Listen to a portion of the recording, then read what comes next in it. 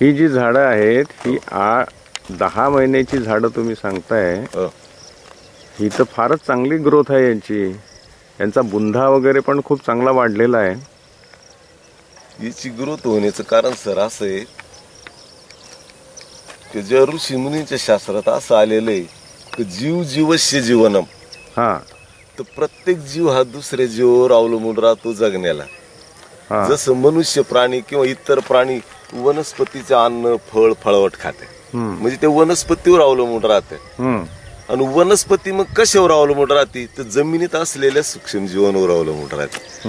आणि जमिनीत असलेले जे आपण गांडूळ म्हणतो त्यांना त्या गांडूळावर ही वनस्पती जिवंत राहते पण परिस्थिती अशी झाली की गव्हर्नमेंट आणि परराष्ट्रीय जे रासायनिक खताचे कारखाने.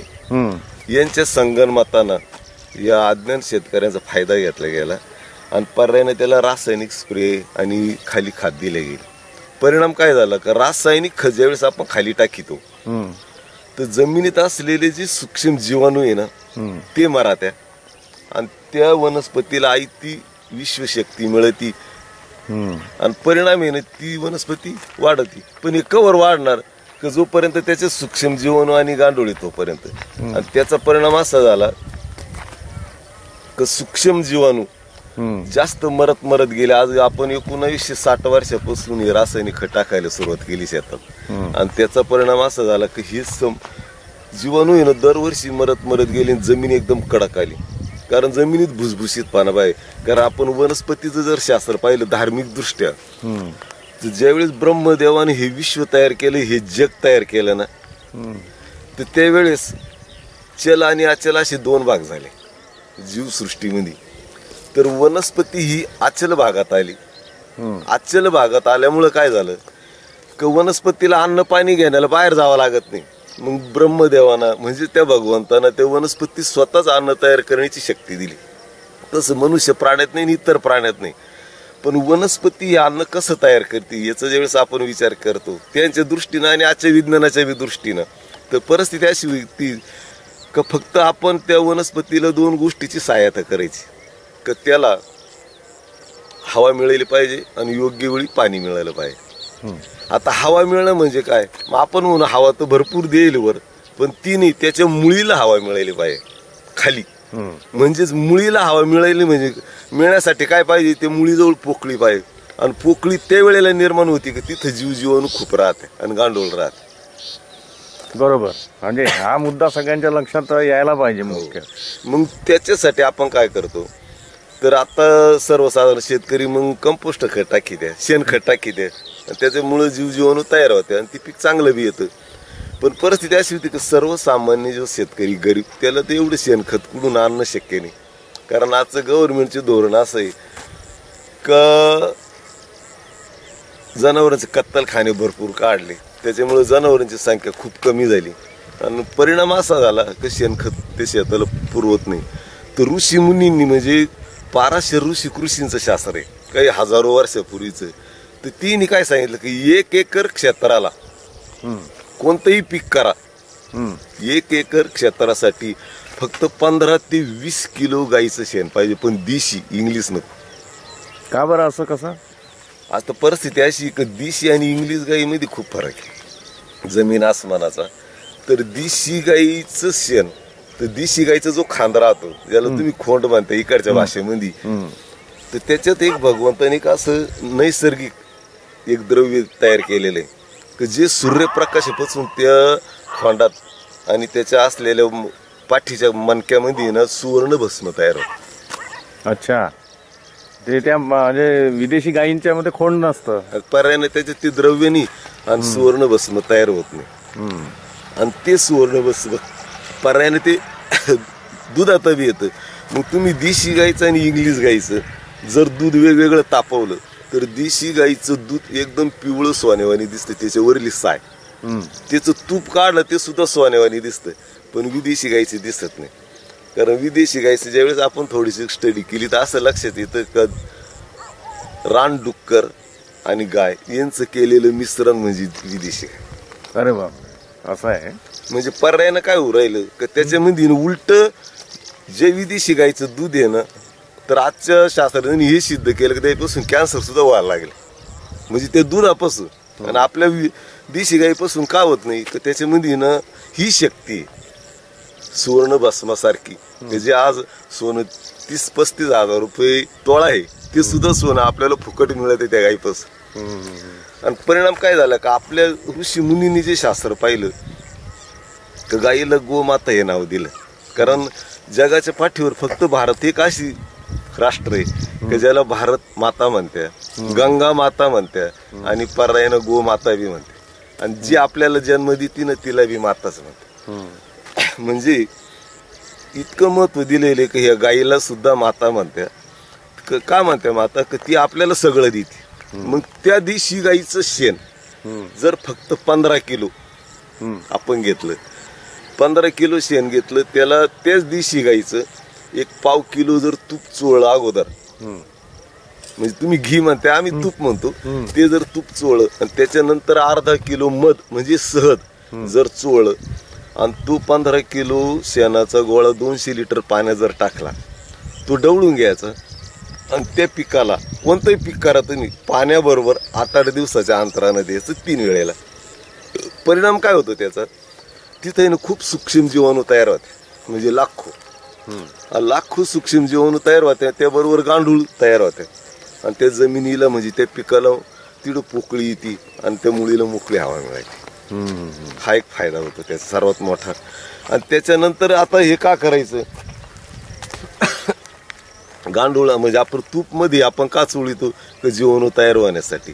आपण रासायनिक खत टाकून जी जमिनीची खून केला आज. म्हणजे त्या जमिनीत असलेलं सूक्ष्म. आता आपल्याला लक्षात येत नाही. का लक्षात येत नाही का शेतकरी अडाणी? येणे आपल्याला फसवलं आणि परिणाम असा झाला. आता त्याचा परिणाम असा होतो रासायनिक खतानं काय होतं? जीवाणू मरून जाते. बरोबर. ती जीवाणू मेले का जीवाणूच्या शरीरात असलेली विश्वशक्ती म्हणा तुम्ही चैतन्य शक्ती म्हणा जीव म्हणा तो मोकळा होतो. आणि जिवंत असलेलं झाडेने त्याला आकर्षित करतं. कारण तुमचं केमिस्ट्री मध्ये फिजिक्समध्ये असं एक शास्त्र आहे. की सजाती दोन वस्तू जर जवळ असल्या तर मोठ्याही वस्तूनं लहान वस्तूला आकर्षित करते म्हणजे खेचून घेते. मग तेच प्रकार असाच होतो की जीवनूतली असलेली चैतन्य शक्ती मोकळी होती. झाडात चैतन्य शक्ती जास्त राहते आणि ती त्याला ओढून घेते आणि ते झाड ना एकदम वाढत. एकदम वाढल्यामुळं काय होतं माहिती आहे का? त्याची जी पानं आहे ना त्या पानाचं आकारमान वाढत. कारण पिशीचं आकारमान वाढलं म्हणजे पान वाढत. आणि पिशीचं आकारमान वाढलं का ती पान पातळ होतं. म्हणजे बारीक. आणि बारीक पान झालं का त्याच्यावर हवेतली जी व्हायरसी जे अनेक प्रकारची किटोनी त्याच्यावर अटॅक करते आणि आपण म्हणतो त्याच्यावर रोग आला. आणि तो रोग आला म्हणजे आपण परत रासायनिक औषधाचा स्प्रे करतो त्याच्यावर. म्हणजे खाली बी आपण रासायनिक टाकीतो वरूनही बी रासायनिक स्प्रे करतो. परिणाम त्या झाडामध्ये पूर्ण विषयुक्त अन्न तयार होतं. फळ फळावर जे तयार होत असेल ते विषच विषारी तयार होत. आणि त्याचा परिणाम तेच अन्न आपण खातो. मनुष्य प्राणी म्हणा का बाकीचे मगाशी तुम्ही मला सांगितलं की ते पानं त्या रासायनिक खतामुळे अं, त्याच्यामध्ये मोठे होतात. तर याच्यामुळे तर शेतकरी खुश होईल ना? की बा रासायनिक खत टाकल्यामुळे आपले पानं मोठे झाले. झाड आणि मोठं झाड मोठं झालं. ती वनस्पतीतले असलेले सूक्ष्म जीवाणू हा. जमिनीतले मरत आहे हा. ते मेल्यानंतर काय होतं? तर जमिनीत असलेले जे सूक्ष्म जीवाणू मेल्यावर त्यांची चैतन्य शक्ती शरीरातून मोकळी होती. बरं. शारीर त्या शरीरातून मोकळी झालेली चैतन्य शक्ती म्हणजेच प्राणशक्ती ही वनस्पती जिवंत आहे. ही खेचून घेते. आणि त्या वनस्पतीला आयती शक्ती मिळते. हा. आयती शक्ती मिळाली की ते झाड वाढत. ते झाड वाढत हे आपल्याला फक्त वरून दिसलं. पण परिणाम काय होतो? की त्याच्यात असलेली रोग प्रतिकार शक्ती कमी होती. का होती? की विज्ञान हे सांगत की एका अणूचे दोन अणू होती नाही त्याचं आकारमान वाढत. अच्छा. आता ते आकारमान वाढत म्हणजे पर्यायानं ते झाडाचं. आकारमान वाढलं रासायनिक या आकारमान वाढलं की ते पातळ होतं. एक दृष्टांत द्यायचा असला समजा एवढा जाडीचा खेळ आहे लोखंडीचा तो आपल्याला वाकवत नाही. पण तो ठेसून जर एवढा लांब केला. तर तो सहज लहान मूल सुद्धा वाकीत.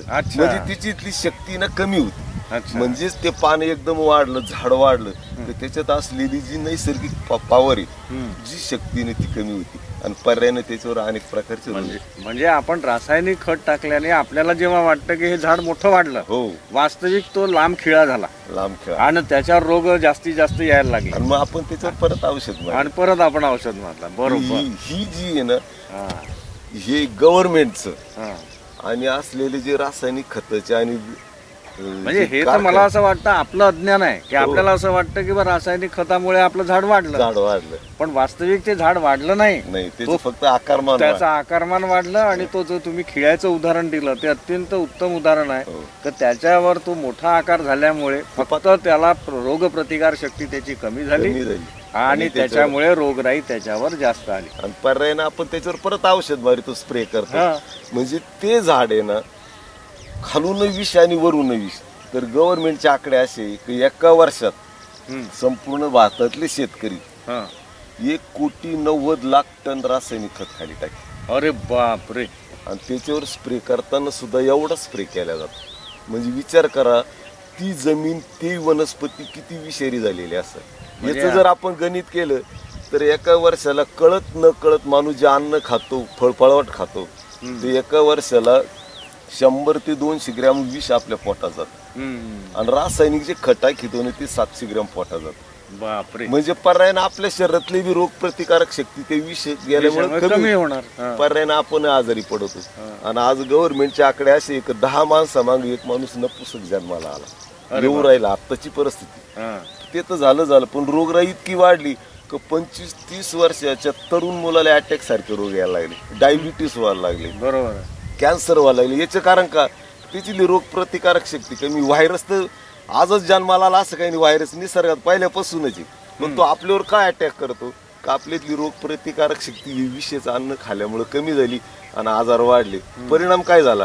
का आपण पहा म्हणजे गव्हर्नमेंटचे किती नुकसान आहे किंवा आपल्यावाला स्वतःच? की ज्यावेळेस आपण रासायनिक खत आणि हे स्प्रे करतो संपूर्ण शेतकरी एका वर्षाला पाच लाख कोटी रुपये खर्च होतो. म्हणजे पाच लाख कोटी दर वर्षाला परराष्ट्रीय जी कंपनी आहे ते आपल्या शेतकऱ्यांकडून लूट करतात हा. पर्यायानं. बरोबर. आणि ज्यावेळेस आपण आजारी पडतो त्यावेळेला आपलं गव्हर्नमेंट सात लाख कोटी रुपये परत त्यांना नीट करायला खर्च करतं तरी त्याच्यातले पासष्ट टक्के लोक मरून जातात. बा- म्हणजे ही अवस्था आहे. आणि याला कारण मी सांगतो ना, ही गव्हर्नमेंटची पॉलिसी म्हणजे शेतकऱ्यांना जिडू तसं पाहायला भारत हे एक राष्ट्र असं आहे की शेती प्रधान आहे. खरोखर जर विचार केला तर शेती प्रधान जर राष्ट्र आहे तर गव्हर्नमेंटला जास्त लक्ष कोणाकडे द्यायला पाहिजे? शेतीकडे द्यायला पाहिजे. शेतीकडे द्यायला. पण आजची सगळं उलटी गंमत झाली. कारण जे राजकारी मंडळी आहे ना यांना शेतीच माहिती नाही. डाळिंब वर येतं का खाली येतं? ज्याला आपण शेंगा म्हणतो मुंगफली म्हणतो ते वर येतं का खाली येतं? ही काही त्यांना कल्पना नाही. कारण का? तर ते मुळातच फॉरेन मध्ये शिकेले ईबीसीडी एवढंच त्यांना माहिती कारण आणि आजची जी व्यवस्था आहे संपूर्ण कोणती बी म्हणजे गव्हर्नमेंटची पूर्ण इंग्रजांची डुप्लिकेट म्हणजे जसं इंग्रजांनी भारतावर राज्य केलं आणि तिने जे कायदे कानून बनवले जे काही विशिष्ट पद्धत केली ही सर्व अशी शेतकऱ्यांच्या विरोधात. आता आपण असा विचार केला की हे सगळं वाईट आहे आणि या पद्धतीने आपल्या देशाचं जे शेतकरी आहे हा आत्महत्या करायसाठी प्रवृत्त होतो आहे. हो. पण याच्यावर काही उपाय आहे का आपल्याजवळ? याच्यावर उपाय हाच आहे. जर तुम्ही ह्या पद्धतीनं शेती केली नैसर्गिक ऋषी कृषी ऋषींनी शिकवलेली जर शेती केली तर परिणाम असं होतो का रासायनिक शेतीपेक्षा उत्पन्न जास्त बी येतं आणि ते विषमुक्त अन्न तयार होतं. अच्छा. आता हे झाड पहा तुम्ही आम्ही हे ना पंधरा मार्चला केलेली डाळिंबाची लागण. याची एक वेळेला छाटणी सुद्धा झालेली तरी आज ते चार फुटीपेक्षा जास्त उंचीचं झाड तयार झालं. आता हे आपण जांबाचे झाडं पाहिले हे जवळजवळ पाच फुटाच्या वर गेले.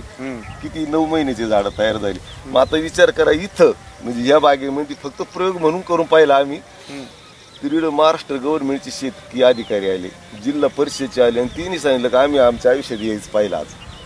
महाराष्ट्र गव्हर्नमेंटचे अधिकारी ज्यावेळेस इथं आले त्यावेळी तिने सांगितलं की आम्ही एका ठिकाणी प्रयोग केला पंधरा लाख रुपये खर्च झाला पण आम्ही फेल गेलो नाही कसं काय झालं? आणि येतं दिसतं डोळ्यानं. म्हणजे तिने पाहिलं स्वतः हिने पानाची बी इथून तपासणी केली. तिने पाहिलं याच्यावर काहीच नाही म्हणजे का नाही याच्यावर? तर याच्यात रोग प्रत्येक एक उदाहरण देतो. समजा आपण प्रवास केला. बऱ्याच ठिकाणी. म्हणजे आपण तिकडचं पाणी पितो. पण पाणी अनेक ठिकाणचं आपण पाणी पितो पण त्याच्यात तुम्हाला सर्दी पडसं झालं नाही. ताप आला नाही पण मला आला. का आला? पाणी तुम्ही पेले पाणी मी पेलो. पण मला कळालं का माझ्या शरीरात रोग प्रतिकारक शक्ती कमी होती.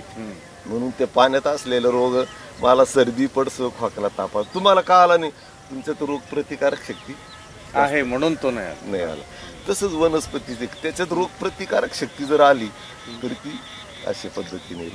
म्हणजे नैसर्गिक शेती नैसर्गिक शेती याचा अर्थच ऋषी कृषींनी शिकवलेली शेती. बरोबर. आणि हे ना आज आपण विज्ञान विज्ञान म्हणतो. खऱ्यानं शेतीचं आज ऋषी कृषीचं जर शास्त्र पाहिलं आपण तर एका दिवसात. एका दिवसात म्हणण्यापेक्षा एक तासाच्या आत आहे ना मेथीची भाजी उगते मी तर गौतम ऋषीचं शास्त्र मला ते पुस्तक नाही मिळालं अर्थात वाचायला. पण गौतम ऋषीचं शास्त्र इथपर्यंत वरच्या लेवलला गेलं होतं का सकाळी धान पेरायचं किंवा गहू पेरायचं. आणि संध्याकाळी सोंगायचं. म्हणजे बारा तासात पिकताय.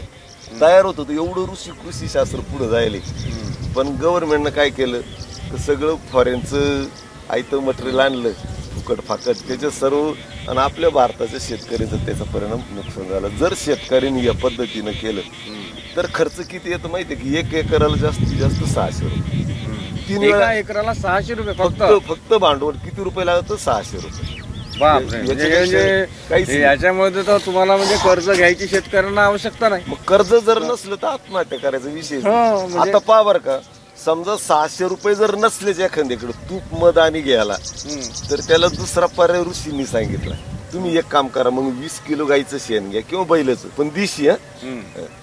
वीस किलो शेण घ्या त्याच्यात दोन किलो गुळ टाका दोन किलो डाळीचं पीठ टाका एक किलो बाजरीचं पीठ टाका आठ दिवस ते सडवा. आणि त्या आठ दिवसानं ते तयार झालेलं मिश्रण आहे ना त्या पिकाला द्या पाण्याबरोबर. एक एकरासाठी दोनशे लिटर. असं फक्त तीन वेळाच करा. तरी ते पीक आहे ना रासायनिक शेतीपेक्षा चांगले आहे अरे वा वा वा. आता दुसरी गोष्ट अशी का समजा काही नाही, शेतकऱ्यांना मला एक एक मुद्द्यावर अजून म्हणजे मगाशी आपण सगळ्यांना जे सांगताना म्हटलं की गाय हो. आणि गायीच्या मध्येच ते अं, जे आपण म्हटलं सुवर्ण भस्म तयार होतो त्या खोंडामुळे. हो. तर आता तुम्ही मला एक माहिती दिली की बैलाच्या मध्ये सुद्धा ते गुण आहे. हो बैल. म्हणजे आपला देशी जो बैल आपल्या हो, सगळ्या आहे. सर्वसाधारण शेतकऱ्यांकडे आहे आहे. तर आपण त्याचं शेण पण वापरू शकतो ना? हो त्याच शेण चालत? गाईचं चालत आणि बैलाचं चालत. मग- दिशीच पाहिजे. पण आता गोमूत्र जसं आपण म्हणतो हो. तर तसं समजा बैलाचं आपण मूत्र ते उलट पॉवरफुल आहे. पण गंमत अशी राहते की देशी गाईचं पंधरा लिटर पाण्यासाठी आपण जे स्प्रे करतो रासायनिक प्रक्रियेचं जे औषध आपण मारतो ना तर जे कीटकनाशक आपण जे औषध त्याच्यापेक्षा आहे ना जर एक पंधरा लिटर पाण्याला गाईचं गोमूत्र लागत कमीत कमी दोनशे ते अडीचशे मिली. आणि बैलाचं जर मूत्र घ्यायचं असलं तर ते फक्त दीडशे मिलीच पाहिजे कारण ती गाईच्या मूत्रापेक्षा पॉवरफुल राहत अरे वा म्हणजे हे हे जर माहीत झालं हो. शेतकऱ्यांना की तुमच्याकडे जो बैल आहे हो. त्याचाच वापर तुम्ही त्याचं जे मूत्र आहे हो त्याचा वापर तुम्ही ह्या कीटकनाशकासाठी करू शकता करू मी तुमच्याकडून याच्याबद्दलची जास्ती अजून माहिती घेणार आहे हो. पण आता आपल्याला थोडासा ब्रेक घ्यावा लागेल. हा? तर तुम्ही ही माहिती अशीच आम्हाला देत राहा अजून आपल्याला पुढे तुमच्याशी बोलायचंच आहे?